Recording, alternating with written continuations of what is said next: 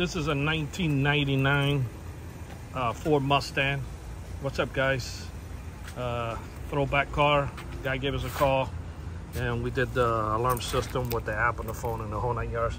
So he can disarm it with the app. Disarms it, tells you doors are unlocked, unlocks the doors. He's gonna hit lock. Locks the doors. Remote start.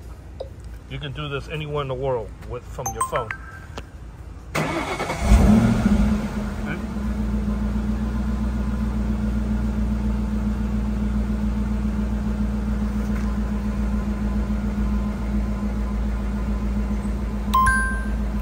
The countdown 30 minutes going backwards.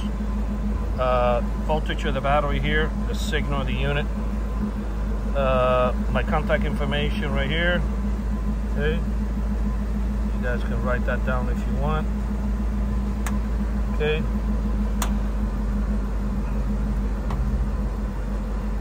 Uh, over here is to pop the trunk. Give him the trunk release. Okay. What's going on with this trunk? The, the hydraulics are shot, so it doesn't really pop the trunk. But it's hooked up already. He's going to change the hydraulics on it. And then GPS, and for security reasons, I'm not going to show where the car is. To turn it off, you press this button here and it turns it off. And then, of course, you got the fob. One beep is on, it locks your doors.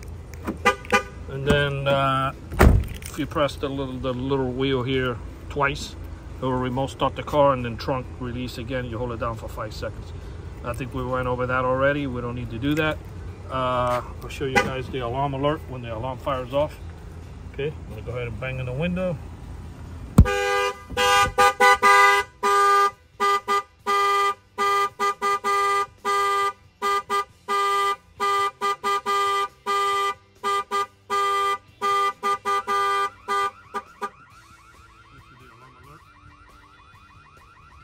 Okay. Uh, then pretty much, uh, you know, the car's super, super clean. Super clean for 1999. It's got a stick.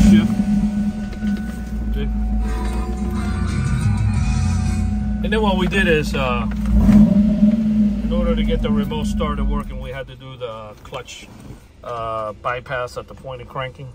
So uh, it's done the proper way. That way, uh, you know, it stays when, when when it's not on the re when you don't hit the remote start, you still have to push the clutch to start it as normal use. But and uh, when we did the uh, remote start at the point of cranking, it does the, the only way the car will start if I do the bypass at the point of cranking. That way the car starts.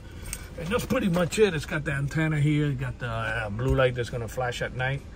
Uh, this antenna right here just gives you range on the fobs that you can arm and disarm it from far away. You can do like a length of a football field.